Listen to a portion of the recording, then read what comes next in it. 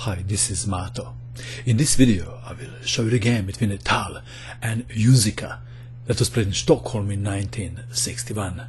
Mikhail Tal had white pieces and he started with e4, e5, knight to f3, knight to c6, and Tal played bishop to b5, Ruy Lopez or Spanish opening, a6, bishop to a4, knight to f6, attacking the pawn on e4.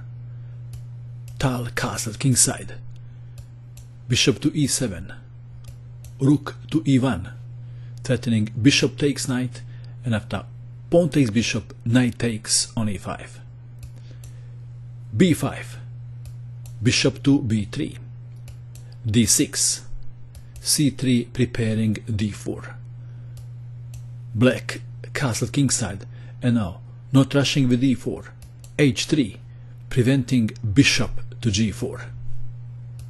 Knight to b8, knight is coming to d7. d4, knight from b to d7.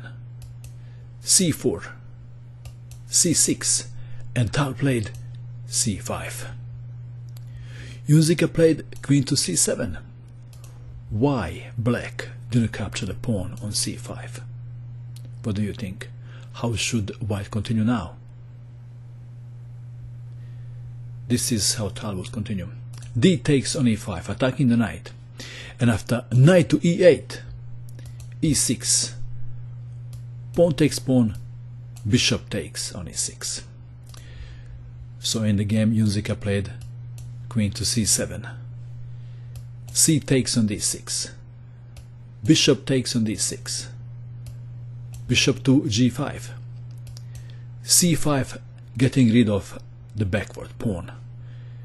D takes on c5 bishop takes on c5 so far black is doing well. Knight to c3 bishop to b7 rook to c1 lining the rook with black queen. Queen to b6 perhaps planning to double the rooks on the c file. Rook from f to e8. Knight to d5 attacking the queen. Bishop takes knight. Bishop takes bishop. And now rook from a to d8 was played. Better move was rook from a to c8. Fighting for the control of the c file we have rook from a to d8. Big difference. Rook from e to c2. Bishop to e7. Rook to c6, attacking the queen. Black to move. Perhaps queen to b8 should have been considered. In the game, black played queen to a5. Queen's life is in danger now. How should white continue? Bishop to d2 attacking the queen. Black played b4. If queen goes to a4, bishop to b3 attacking the queen. Queen takes pawn on e4.